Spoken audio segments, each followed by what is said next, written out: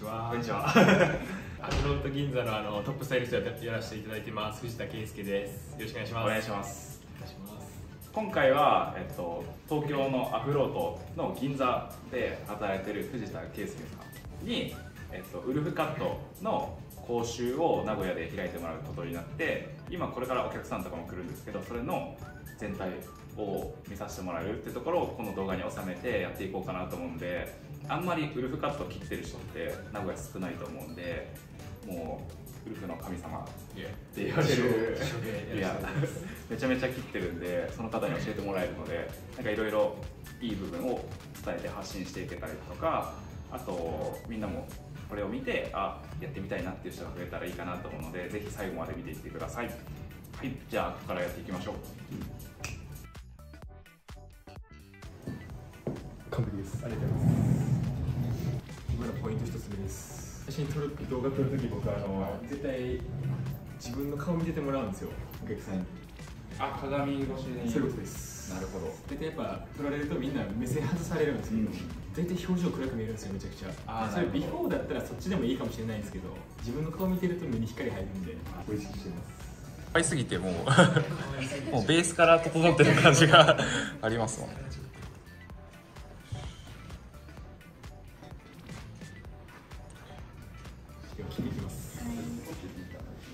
まずじゃあ後ろから切ります。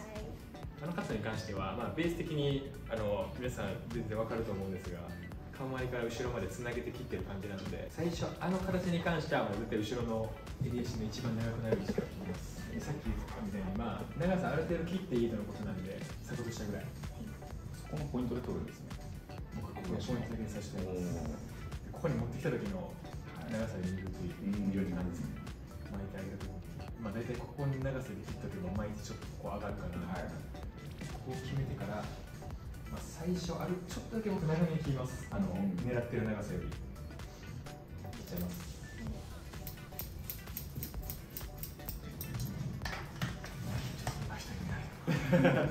そうです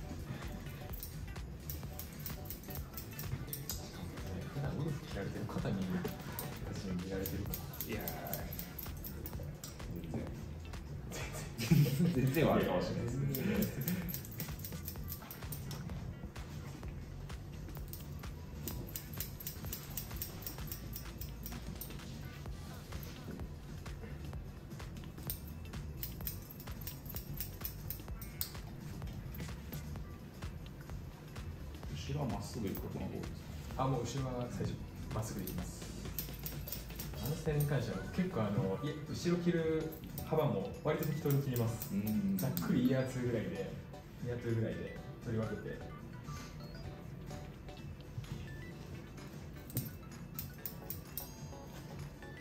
これでもう襟足の長さ一旦今一番長いところできたんでここ切ってから顔周りいきますでこの状態でお客さんが下とか向向いてるようだったら一回まっすぐちょっと向いていただいてから僕はもう顔周りの一番短くなる部分から最初に作っちゃうんですけど、後ろからこうやって作る人もいると思うんですけど、はい。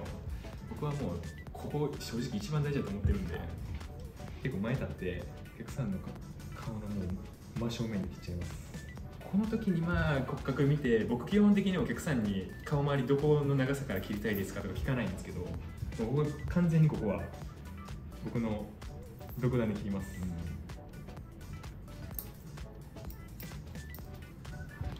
先決める感じですね。一番下に出てくるレイヤーの位置を大体ここに落としたい時はここに切るとかってあったりします？ここに落としたい時ですか？ざっくりですか？いや割と自分の中で決めてるんですけど、はい。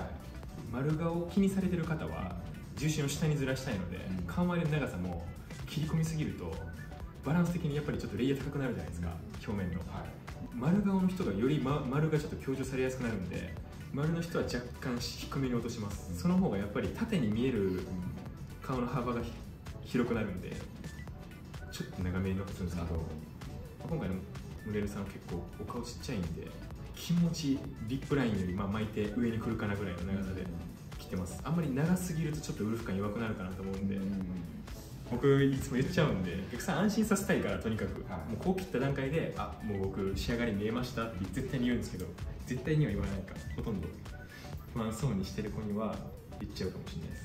でそこ決めてからレイヤー角で切っていきます。佐野さんとかも勝ったのめちゃくちゃ理論派の方だと思うんで。ですよね。理論派ですね。ですよね。理論派です。僕からなん僕か逆に理論後からちょっとつけてきたタイプなんで、あれなんですけどやっぱここの、まあ、カットの細かい部分はちょっと佐野さんに聞いていただいてここの角度はやっぱこのまま切るとグロ角になるんで、はい。ちょっと指逃がして。はい。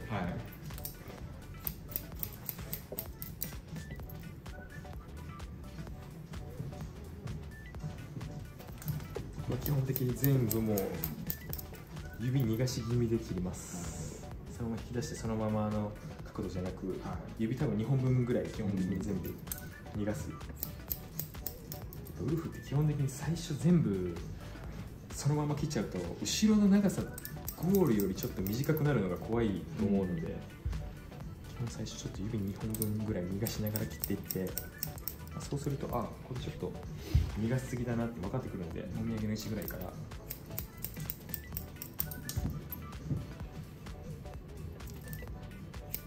ゴールは最初切ったガイドのはい。ところに向かって進めてるっていう形で最初に切ったところのこのはい。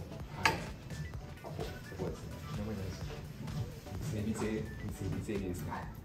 僕はもう基本的に三つ襟までつなぎます、うん。特にミディアムの長さとか、この長さだとここまでつないでないと逆にちょっと毛先重くなるなって感じるんで、つなぐ位置をもうちょっと手前で終わらす方とかもやっぱウルフ切ってる方いると思うん。ですよ、今度は次後ろにつないでちょっと緊張してそうな感じするんで。離れてるのはちょはい、っとあるとごめんなさいカメラちょっと背向けちゃうんですけど切り方は基本的に同じ切り方で。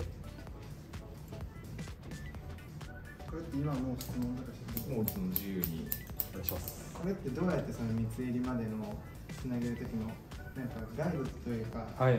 どうやってそこ切ったらそこつながるかわかるんですか？えっとですね今さっき言ったみたいに僕は基本的に最初からつなごうとしないんですよ。最初もう大体威圧より前の毛はさっき言ったみたいに基本全部指2本分ぐらい逃がしてこう切るんですよね。切っとくんですよ。さっきこれやると後ろの長さ的に絶対今繋がんないんですよ。この角度で切っていくと。もうここで終わるんですよ。繋ぐのが。威圧ぐらいで。ここで終わるんですけどここまで切ってから真下に一回下ろすじゃないですか。そうすると大体ちょっとゴールの位置見えてくるんですよね、今さっき切ったレイヤーの位置と例えばですけどここゴールじゃないですか。今狙ってるゴールです。ここの長さが。ここの長ささえ切らなければいいんですよ。あとはここを今指2本分ずつずらしてこう切った時にまあ威圧より前のこうレイヤー入れたところが出てくると思うんですけどこことここの位置だけもう切らないように意識してやる。そうするとこう押してきた時に確実にこう長くなってるところが出てくるんですよ、角みたいな部分が。下に下ろしてこここが出てきます。ここ今切ったレイヤーの位置。でここまだ切切れてないんですよ。こっからここにあとはもう斜めで自分の指の角度で切る感じです。ここを見定めながら切ります僕は。最初はここにあるんやなと思って下ろしてくるとこう出てくる毛があるんで、こう切るじゃないですか。でここでままたこう真下に下ろしてでこれこれさあのつなぎたいところです、はい。こうやって角が出てくるんで指斜めに下げて僕の多分切ってるウルフに関しては顔周りのレイヤーめっちゃ急にな角度で入ってるんですけど後ろちょっと緩め。角度的には。こうやって角が出てくるのでそれ全部こうゴールまでつなぐ感じこれで終わりです。だから一回は全部つながんない角度で切ります。威圧までは。切ってからそのその威圧の部分から後ろの部分をまた角度を変えてこうつなげていってあげる感じ。ここの顔周りをめっちゃ急な角度で切って徐々に徐々にこう角度が緩くなってくるイメージ気がしてくれてます。これで一旦後ろの長さつなげてる部分合ってるかどうか確認す。るで大体いつも右側ちょっと僕長さ残るので。ちょっと出ちゃいますねそういう癖がちょっとねやっぱ毎回大体あります。はい。これであ威圧じゃないわお土産の長さ。合ってます。こう確認したらあの表面切っていきますじゃベースの長さこれくらいでいきますねってお客さんに伝えてあげて問題なさそうだったら上切ります。表面のレイヤー。まず顔周りのレイヤーの位置から。オンベースで切るんですけどうちのやっぱアフロートのレイヤーのスタイルって基本的にこのままこう切るんじゃなくてここだわりがあるレイヤーなんですけど、はい。これって特にさっきおっしゃったみたいに、はい。ボリュームがちょっとふわーっとした感じが出したいんですよね、このなんか巻いた時セットした時にエアリー感というか、はい。ふわっとした動きが出せるレイヤーを意識してうちの店って結構切ってるんですけど、これってこのまんま全部つなげて切っちゃうと、まあ多分普通に一般的なレイヤー、はい。まあ、それとちょっと比較するのがなかなか難しいんですけどうちのレイヤーの切り方としてはここでまたさっきと一緒です。指2本分逃がすんですよギュッて。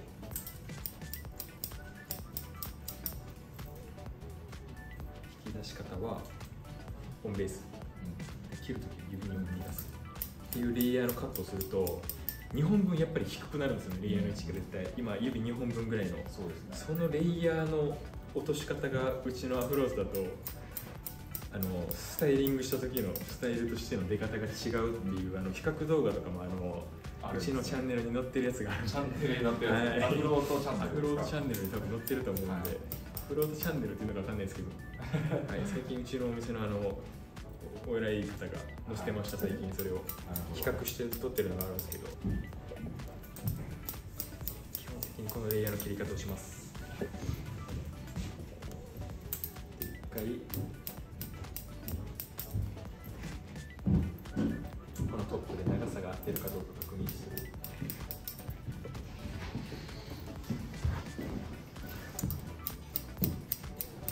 この時にまあドライで切ってて僕個人的にすごいいいなと思うのはやっぱりここでもある程度レイヤーの位置が落ちてくる位置が分かりやすいので、まあ、濡れてる時よりも分かりやすいかなと個人的に思うんでここでまあ見る一回。これくらい大丈夫そうだなと思ったら一回聖地決めた後はもう顔周りから先切っていきます。にレイヤーの入れ方はさっきと一緒ですもう指2本分ぐらい逃がす全体的にそれなんですね全体的にあの表面の部分、やっぱりこのトップのセクションに関しては顔周り切るときは一回僕もう真ん前より若干顔にクロスするぐらいの位置で切ります持ってきてで出てくる角を全部落としちゃう顔周りはとにかくこう前に持ってきて出てくる角を取ってあげる。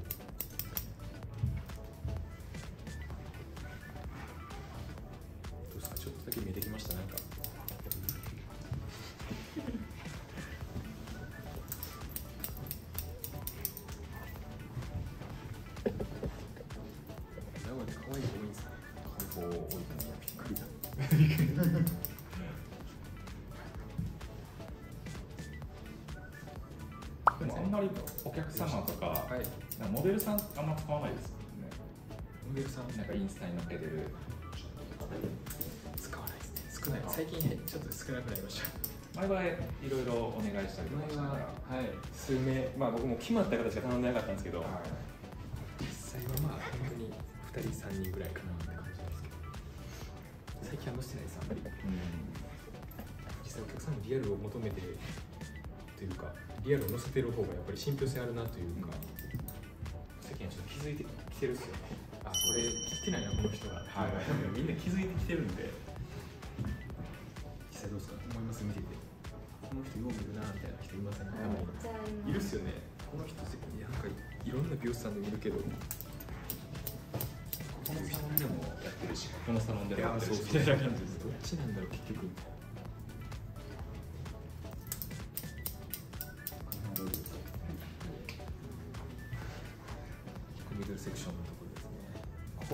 に引き出してあの指2本分逃がしたりしないです。角を取ってるって感じ？あそうですそうです。一旦ここは角をもう。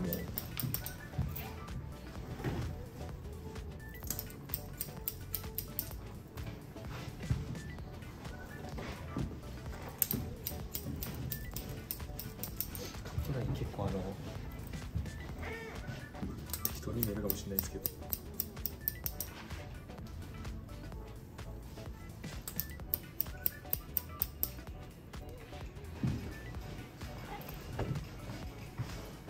でアンダーのセクションに関しては僕はあのアンダーだけで2パネルに分けます。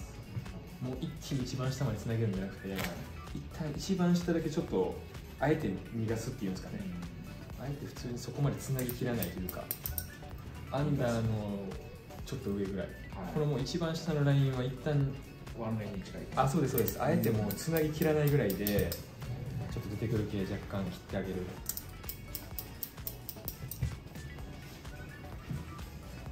これはもうウルフ僕が切る上でぜ全員大体そうです。もう一旦ここは逃がして切るんですけど、まあ、髪質によってはこんだけ切っただけでももう毛先が結構スカスカになる方もウルフの人って多いんで多いですよね、やっぱ軽くなりすぎてもちょっとセットしづらかったりとか実際しやすいと思うんでここで一回ちょっと見ますラインとかを。でもうちょっと別にレイヤー入れても大丈夫やなと思ったら一番下までつなぐ感じ。イメージとしては意外とこれうちのアフロードでも結構言われるんですけど一番下のレイヤーって意外と切れてない人多くて一番下までつかめてない人がめっちゃ多いんでこう一番下の髪の毛も全部集めながら出てくると切ってあげるイメージ。さあさんに見られてるの怖いな。ほぼ分けないですね。あのパネルを取ったりとか。あもうカット中に僕ダッカール使うことはないです。あセニングは使いますベースカットは使わないですね基本的に。もう基本上から下に全部切っていくんで。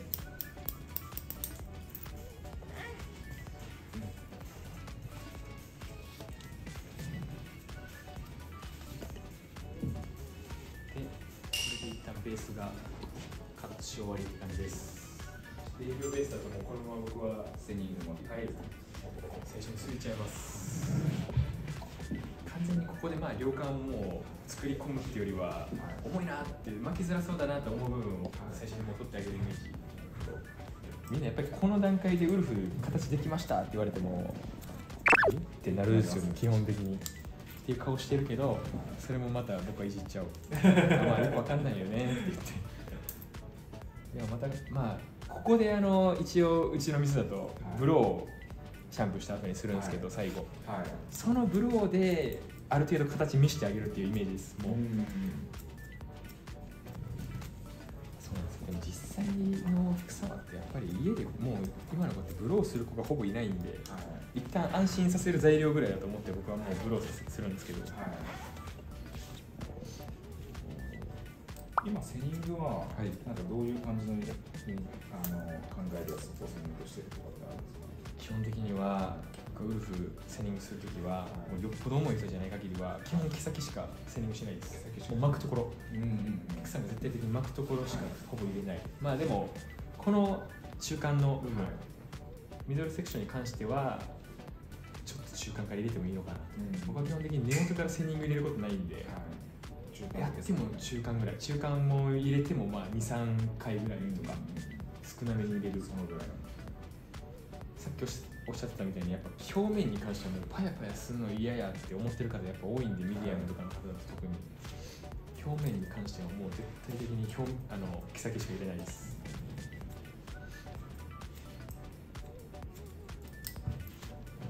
短いウルフでも短いウルフだとそうだな。一番下の襟足の部分は結構セニング入れるかもしれないです毛先は。でも根元は入れないです絶対中間もちょっとしか入れないですね。あとは僕も基本的にハサミの質感の方を調節するんで好きすぎるとやっぱりその方が例えばもう伸ばしたいと思った時にめっちゃ大変になるし僕はなんか自分がウルフばっか切ってる割にはウルフやめた時のことを考えちゃうんですよお客さんが。この人絶対一生ウルフはやんねえなって思っちゃうんでウルフやめるってなった時にめっちゃ好かれてるからこれなかなかスタイル変えれないよとか言われるのが嫌なんですよ他の美容師さんに。って思って。よっぽど多毛でよっぽど少なくしてほしい人以外は。それは20%の方ですあそうです。ちょっと少なめの方です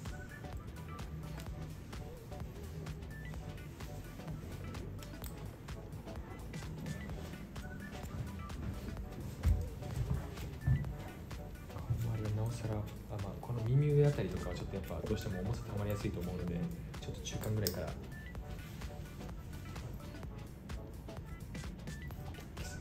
の顔は割と慎重に入れます。もう数回入れるぐらい。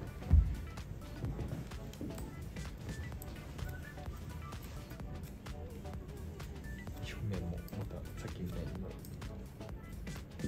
基本僕もセニングのやり方あのよくわかんない特殊だと思うんですけど基本的に横す横のパネルでしか取らないです。入れないです、まあ、もちろん見た目も大事です。もう一番下のこのアンダーのセクションとかに関しては絶対的にアウトラインが出る部分なんで取りすぎず。とにとにかく均等をちょっと狙うぐらい。で、まあ、実際今もう僕ブローとかも最初絶対しないんでカットする前に。均等ってよくまあここで決め切るとちょっと難しいと思うんで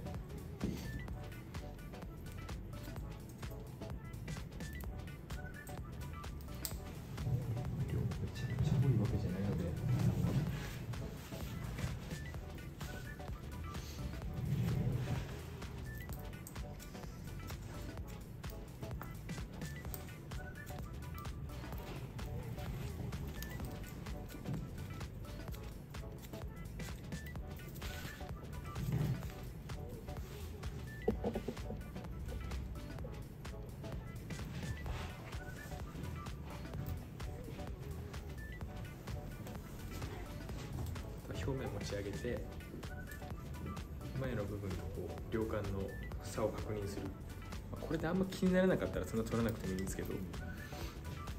まあそれだと全然もうあんまりつかなくていいかなあんま取らなくていいかなぐらいですね。まあでも若干こう溶かした時にちょっと毛先の方もさっとした感じがを感じる時があるんで、ライン感というか。その時はまあ23回ぐらい入れてちょっとラインぼかすぐらいな感じで表面の表面だけ。毛先ですね。これここは整えるぐらい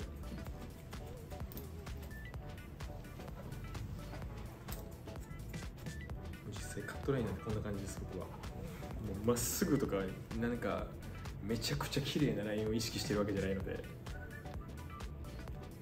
こんな感じ、まあ、若干ちょっとなんかジグザグぐらいでカットラインも基本的に全部縦で斜めに入れるんで。この感じ。がやっぱりライン感も出づらくて馴染みやすいかなと思います。OK です。ベースができました、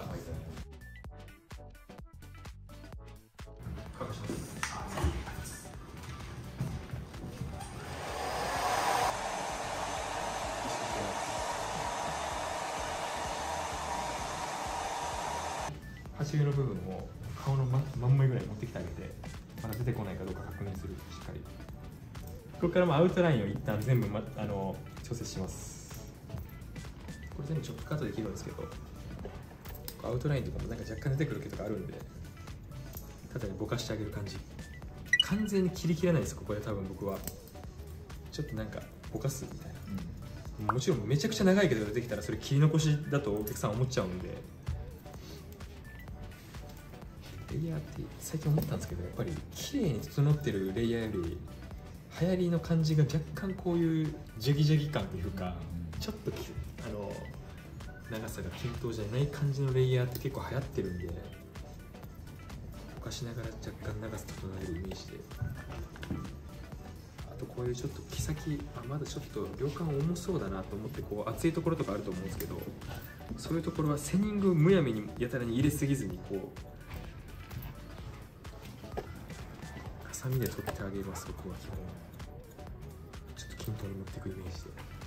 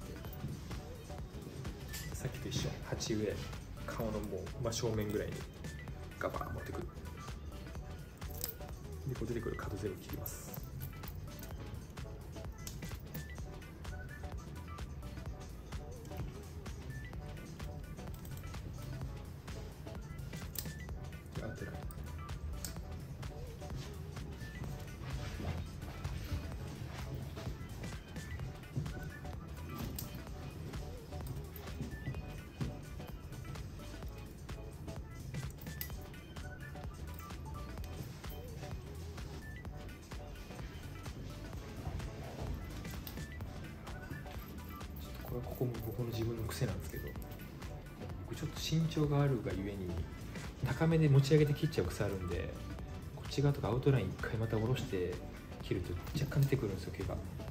内側の毛が切り切れてないことがあるんで。ないですか？あります今無理して合わせてくれたでしょいや。最近は椅子切で切ってるんですけどそうですよね。なんか前のサロンはずっとあのはい。立ちで立ち切りしかなかったんで、はいはいはい。そういう時はやっぱり顔周りとかすごいやっぱ立って切るとここがちょちょっとありますよね、ブランドに行切りやすいから。レイヤーになっちゃったりとか。うーん。あります。そうなんですよ。アウトラインをしっかりチェックして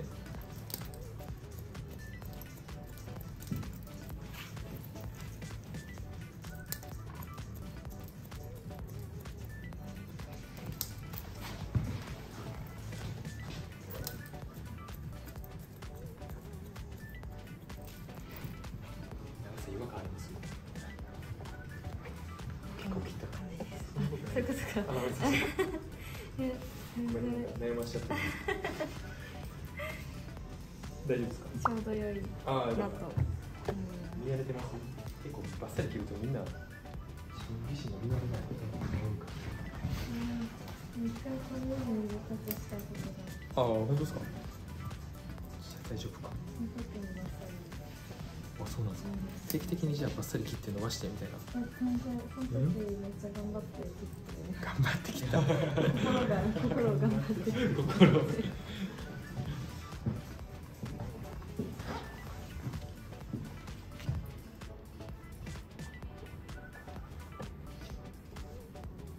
まあアイロンしててもそうですけど、まあ、内巻きにしてるとある程度こうレイヤーの感じが見えやすくなるんで均等に入ってるかどうか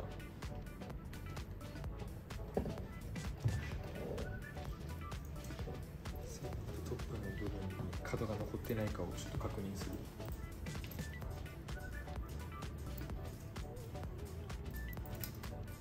真横に切っちゃうとあのすごいかそうそう。若干こう丸いぐらいだったら全然大丈夫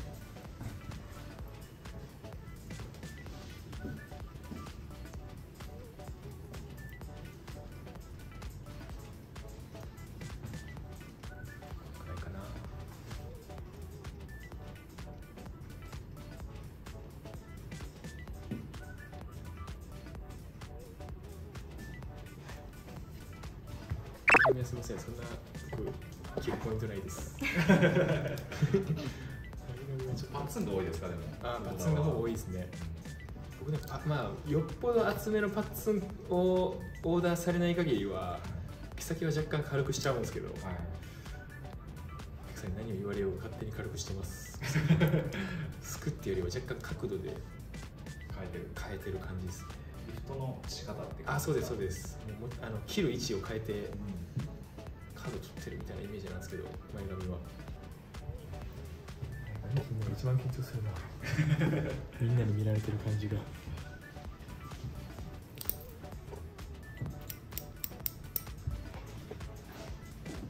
もうちょい切りますね。はい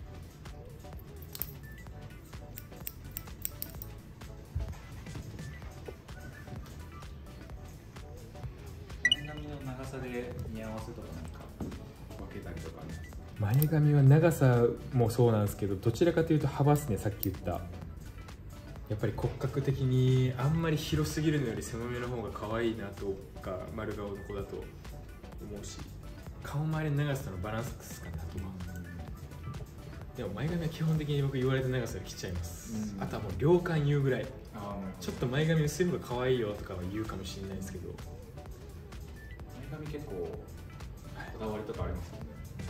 あると思います本人が眉毛で切りたいって言ってるのになんか言っちゃえば本眉で切ってる美容師とかあんま変わんなくないですか？長さ違えど勝手に長さをこういやもうちょっと長い方が可愛いよって言って持ち悪くするぐらいだったら言われた長さで切ってあ伸びてきたらあの全然切っちゃっていいよって言っちゃうタイプですね僕は。自分で切ってもいいけどあの短くだけはしない短くしすぎだけはやめてって伝えますお客さんに。大丈夫ですか？切る分には切れるんで。何ぼでも言ってください。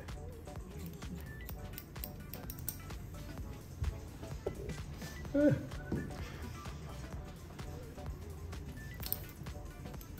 て心の中でいつも思ってます。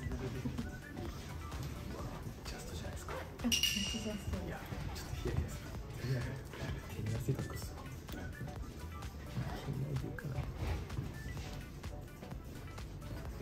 前髪は絶対にあの思ってるより短く切っちゃうことをしなければ って思ってます僕は。そうですね。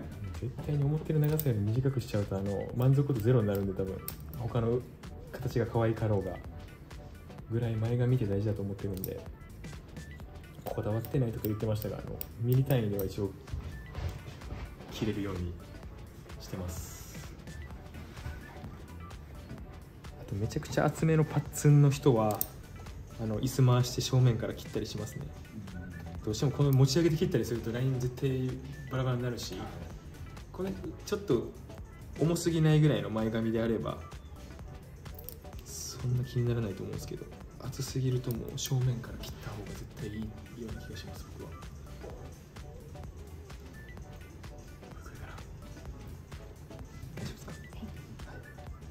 先厚いなと思う部分だけ持ち上げて床と平行ぐらいまで僕結構持ち上げちゃいますいつも。バーン持ってきて。重たいところだけを基本かもしれないです。まあでも全部持ち上げちゃってもいいと思います。結局多分出てこないんでほとんど。そうですね。うん、ほとんど本当にこんなパイ上げぐらいしか出てこないと思うんで。それちょっと整えて切ってあげるぐらいで。お客さんにこれも説明するんですよ。自分で前髪切るときあの毛先パツッとしすぎるときあの持ち上げて切った方がいいよとか言って説明までしちゃうんですけど。よしこれぐらいでいきましょう。はい。完成です。まだ巻いてない状態ですが一旦ベースカットが。ベースはい。ベースカットはこれでカットが。終了ですね。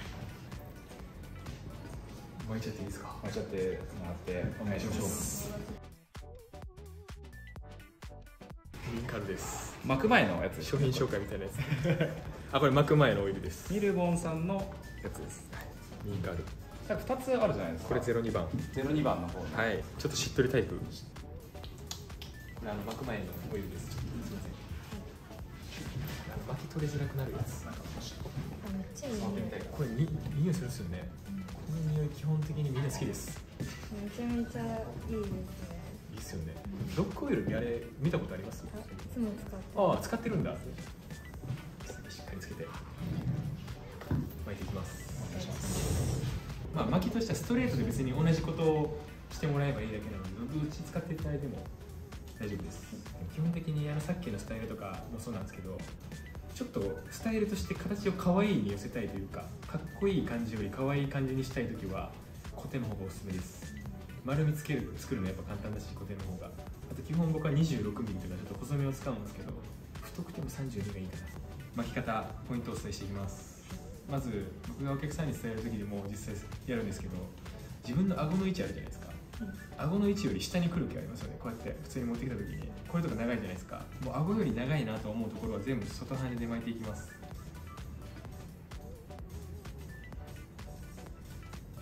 さんとかの伝え方ちょっと知りたいです。あでも同じ感じですあ本当ですか？はい。やっぱそこの毛がどうしていいかわかんないいやそうなんですよね。人がたくさん多いのでそこからも全部外羽にして伸びてきてもなんか持ちが変わってくるんで、その部分も外羽に変えてもらえればいいよ。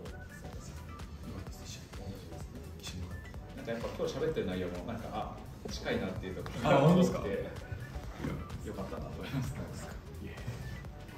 すみませんね。勉強になるとこ少なかったかもしれないいや。すいません。なんかど僕もどう大丈夫なのかなって不安もあるじゃないですか。はいはいはい。なんかそんなにっていうのが。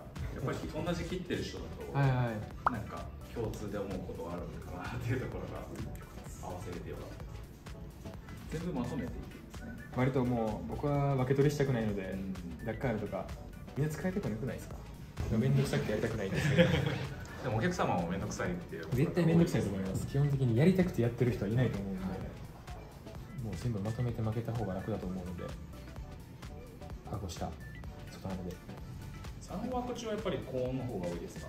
基本180度で巻きます。これお客さんにも聞かれることあるじゃないですか、はい。何度で巻けばいいんですかね。みたい。な基本めちゃくちゃハイダメージ毛のブリーチ毛とかじゃなければみんな180か160ぐらいで進めるんですけどそのあの分け方としては普段コテ使ってるか使ってないかだと思うんですよね。普段コテ使い慣れてないのに180度で通すと多分僕らがこう巻いてるスピード感で負けないじゃないですか。巻くのに時間かかっちゃったりとか当てる時間長くなったりするんですよ。でめっちゃダメージするんで固定慣れてないなら160度でちょっと低めの温度で。今僕が通してるより若干長めに通すイメージ固定の当てる時間を変える。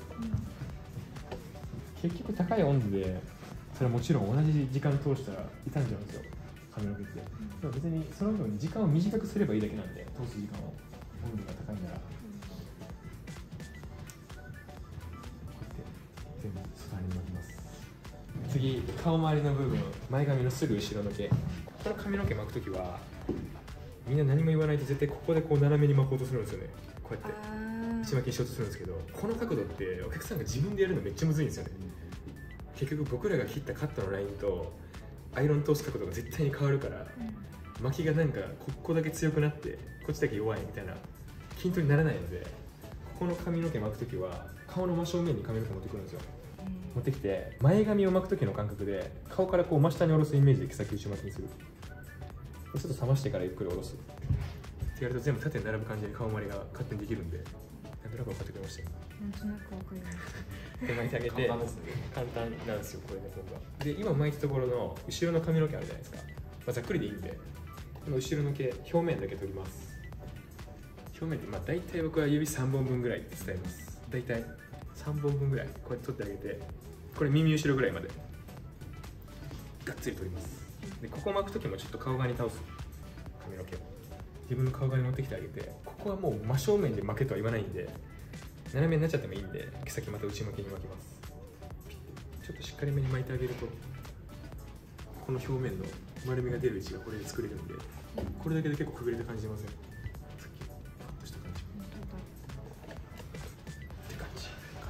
これでほぼ9割ぐらいできてます。ポイントはここです。顔周りの巻く位置。ここをもう顔の真正面持ってくる。ここで顔からこう真下に下ろす感じ。で冷まして後ろ表面だけがっつり取ってあげて。ちょっと顔側で。内巻きここちょっとしっかりめに当てます僕いつもふわっとする位置作るこれで。で最後に後ろの正面。正面じゃない表面。ここもちょっと丸み出てる方が可愛くなるんで大体ざっくりでいいです。もう後ろに落ちてきてる時あるじゃないですか。ここ広めに取っちゃっていいので表面取ります。でここ巻く時は真上に持ち上げます髪の毛を。真上かもしくは真上より自分側に持ってくる髪の毛を。ここで巻くか、い。こっちで巻くか。あそう。これなんでここで巻いてほしいかというと後ろの表面って後ろで巻くのめっちゃ難しくないですか？自分で巻く時、正直負けないんですよ。見えないから。だからここを見える位置に持ってきてほしいだけ。簡単に言うと。自分が見える位置に持ってきてここで最後毛先だけ後ろに巻きます。ここだけ通す。これで終わりこれやると勝手にあの最後後ろお見せするんですけど勝手に表面のもう丸みの部分になるんでこんだけ。まあ前髪は巻くか巻かないかはもうお任せしますって言っちゃいます。僕は基本毛先軽くだけ通すけど巻きだけでも結構雰囲気変わるじゃないですか。でもスタイリング剤つけるとより変わります。固めの方がいいですか？スタイリング剤はね僕は基本バームをおすすめしてます僕は大体枝豆の粒1個分ぐらいとかって伝えます。少ないよりは多い方がいいですって僕は基本伝えるんですけどスタイリング剤は。基本バームがおすすめです僕はオイルより。バーム前使ってたんですけど、匂いが好きじゃなくてなんかいい匂いのや聞きましたか？じゃあ今つけてもらえたらわかると思うので。うわめっちゃいい匂い。いいっすよこちらこちらで。オーバーム。オースキンヘアっていうところのバームなんでつけ方はまずもう僕は耳後ろの襟足からつけます最初。襟足の位置からつけてまず後ろ下から上にこうだんだんだんだんつけていくイメージでなじましていきます。下から上。につけていく。ガーって。で後ろの表面までつけたら横も一緒です。もみあげの位置からつける最初全部こう下から上につけていく僕は結構もう根元周辺からつけちゃいます全部、まあ、髪質がよっぽど結構細毛の方だったりとかもうつきすぎるとこの人多分顔周り束っぽくなっちゃうなみたいな。線みたいになっちゃうなみたいなこうこんながっつりつけないですけど。基本的にはもうがっつりつけちゃう。表面まで。下から上に。一旦形も全然崩して大丈夫なんで。で前髪は基本的に毛先しかつけないです僕は。ここだけここだけ。でこれ失敗される方多いんですけど毛先だけにつけてくださいっていつも言うんですよ。で結局その後みんな毛先だけつけた前髪を自分の手でこうやって直すんですけどそれやると結局根元からつけてるのと一緒なんですよ。スタイリングがついてるから手にだから僕前髪めっちゃ変な状態になるけど毛先だけつけると。これ直す前に全体的に最初直しちゃいます。ちょっと前髪可愛くないけどごめんねとか言いながら他の部分を元に戻してくる。これ触っちゃうとここにつくんでスタイリング剤が。結局別に根元の方からつけてるのと変わんなくなっちゃうんで。前髪ってまあバームとかってやっぱり説得力ある分つけ方間違えるとめっちゃベトベトするんですよ。もう取り返しつかないというか。つけすぎちゃうと。だからつけ方もめっちゃ大事だし今みたいにこうとにかく仕上がり重視。だからもう前髪はもうあと触るのは全体からこう形をちゃんと元の位置に戻してあげて。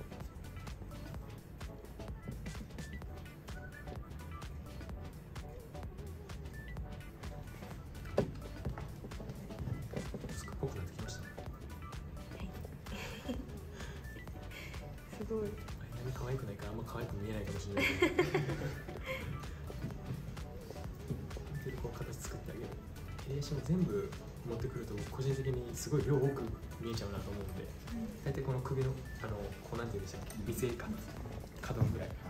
から前の毛を全部こう前に持ってくる後ろがこっち後ろは後ろにもう押してくる位置で一旦置いといてあげて最後こう巻いた表面の部分あるじゃないですか、い。ここの部分だけ若干こう後ろに持ってきてあげるとパッと最後僕は首の位置に自分にトントントンとしてあげるとよりくびれるシルエット作れるよっていうんですけどここ一回潰してはい。ちょっと広げてあげる感じ表面それとよりこうくびれのシルエットできるかなここまでつき終わってから前髪直すんですけど前髪はできればあんだけ物使わない方が楽とか言ってたんですけどくしゃった方がいいです。こういうちょっと細かめのやつがいい。できるかなと思ってなんで細かい方がいいかというと細かいので絶対に溶かすとここにスタイリング剤つくんですよ串に。そのスタイリング剤を毛先でこう拾ってきて中間ぐらいまで伸ばしてあげるイメージで僕は前髪つけるんですよね。つけすぎを防げるというかこれだと均等につけれます絶対に。あとはまあ基本的に僕あと言うのが顔周りの部分も一回こう溶かすんですよね最後。ここ溶かすと綺麗に最巻いた部分がこうやって揃って出てくるんですよ。こう出してあげてからこう整える感じにしてあげた方が個人的に簡単かなと思います自分をセットする時に。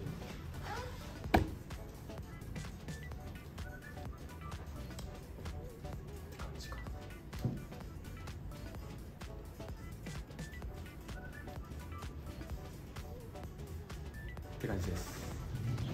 大丈夫でしょうか？はい。襟足はもう全部後ろに持ってくるかさっきみたいにちょっとだけ前に持ってきてから見せてあげる方が後ろこんな感じです。思ったより長めでちょうどいいです持って長めこう持ってくるとちょっと長く見えるんですよね前に持ってくる時より基本やっぱ前上がりで布が切ってるからあ後ろが一番長いく感じる前に比べて。大丈夫ですか？横から見てもこうパッとする感じで。よかった。ありがとうございます。ありがとうございます。ありがとうございます